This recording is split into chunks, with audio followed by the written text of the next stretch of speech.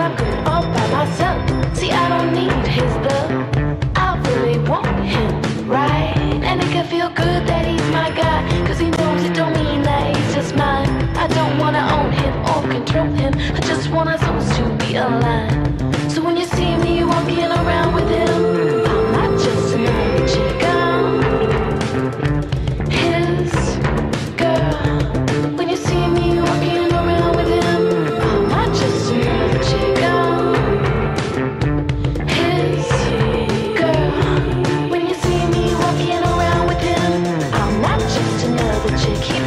For a walk around. He's gonna put back down again.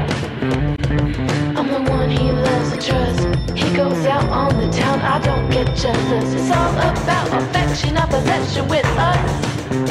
And I do exactly what I want when I'm with him and when I'm not. It's not domineering, just endearing what we got. So if you love someone, let them be free. I know I don't want no one suffocating me. Don't settle for ownership, make it deep. So when you see me